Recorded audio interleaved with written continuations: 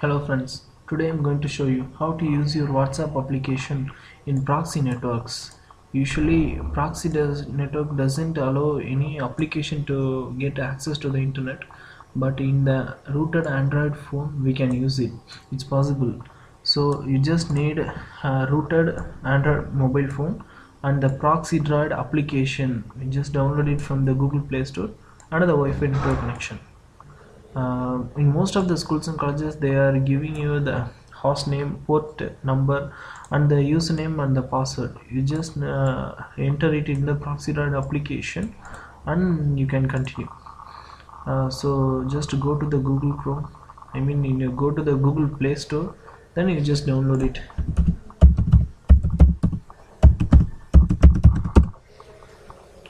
Many of the mobile phones uh, supports the rooting so just uh, try rooting by seeing any other videos or any other tutorials from the youtube. Proxy droid uh, actually it's in a green color. Yeah proxy. Just uh, it works only with the rooted phones only. They are they also told please root your phone first. They also give instructions. So install it in your mobile and then see this video. I just download it from my mobile.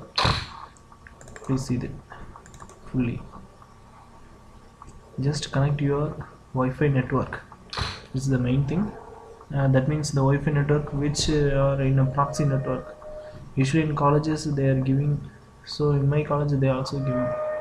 So I connected using the proxy networks in proxy network and after that go to the proxy droid application mobile application and go to the proxy droid settings and type all the host settings and the port number and the proxy type and the username and the password. The very important one thing is username and the password.